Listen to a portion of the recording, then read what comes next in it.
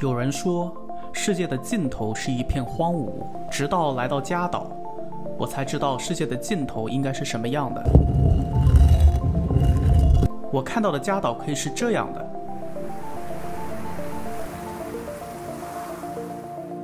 可以是这样的，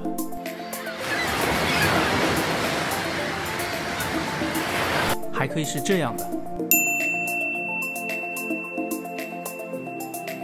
甚至是。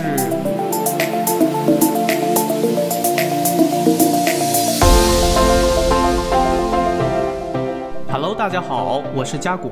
上一集我们从交通、食宿以及消费几个方面了解了一下去加岛需要准备的东西。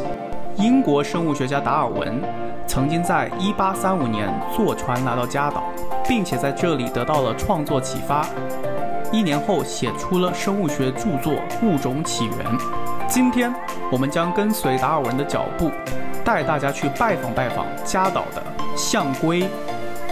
鬣蜥、海狮以及水下的朋友们，话不多说，我们出发吧。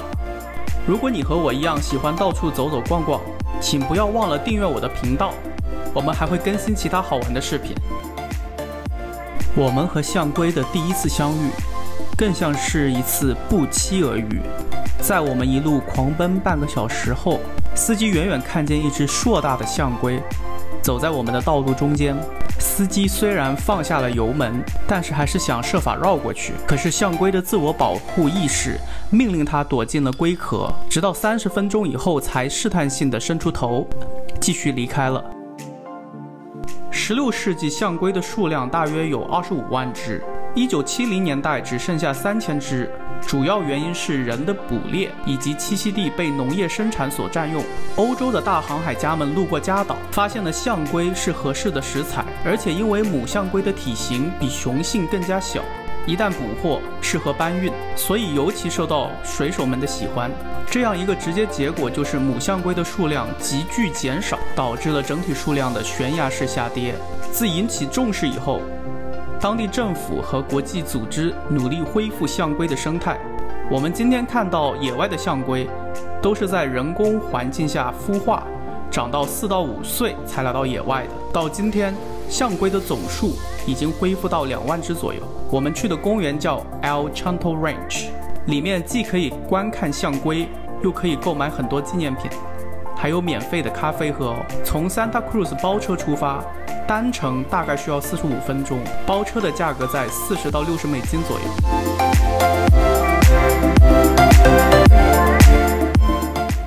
好看完了象龟，下一个不得不提的动物就是加岛鬣蜥。如果说一个世界上最像哥斯拉的动物时，那加岛鬣蜥必须是榜上有名的。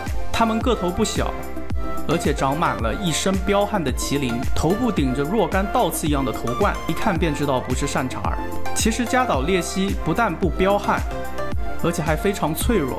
鬣蜥还有一个爱打喷嚏的名声，那是因为在海水中游泳的时候，它们会吸入大量的海水，回到了陆地，它们需要通过打喷嚏的方式来把鼻孔里多余的盐分喷出来。加岛鬣蜥主要分为陆鬣蜥和海鬣蜥。近年来，由于海水升温，海鬣蜥所依赖的海里生态受到了威胁，所以它们看起来无坚不摧，但也是芸芸众生，数量也开始下降了，应了当初来加岛达尔文的一句话：“适者生存。”好，我们再来说说海狮。说起海狮，我的第一个问题就是海狮和海豹有什么区别？结果就是我们只需要记住，长有耳朵的就是海狮。我们到了加岛没多久，就发现海狮一点也不特殊。中文说物以稀为贵，而海狮在加岛就是无处不在。它们占领人坐的椅子，和人一起游泳，以及霸占公共沙滩。所以即使它们再可爱，也可能会觉得它们是不是太多了啊？这些海狮白天一般在水里捕食和玩耍。晚上上岸睡觉。我们去的时候可能是刚刚赶上繁殖季节，看见了很多小海狮。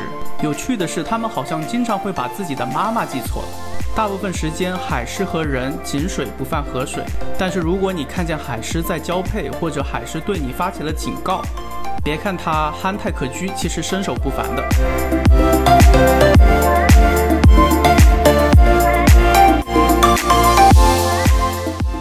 我们现在来聊聊浮潜。在加岛，不管你做什么，都离不开海洋。我们那几天参加的一日游中，浮潜是每天的必备项目。一般导游会提供他们的浮潜面具和救生衣，游客只需要放松大胆地跳下去，剩下的工作就是观看水下的世界了。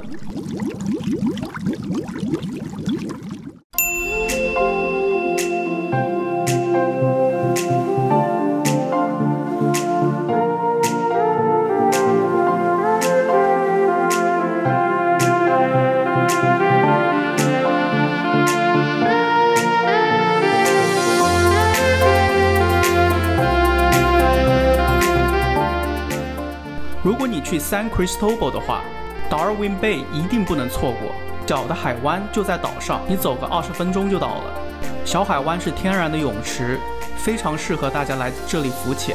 我们连续两天都来这里，而且有幸和小海狮一起游泳了。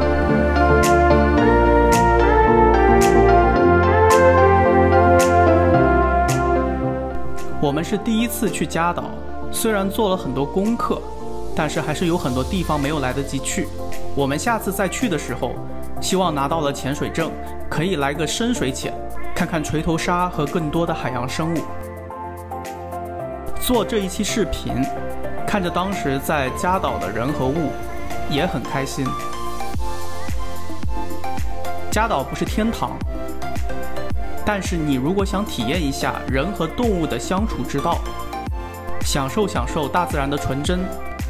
那加岛一定是你的首选。如果你和我一样喜欢到处走走逛逛，请不要忘了订阅我的频道，我们还会更新其他好玩的视频。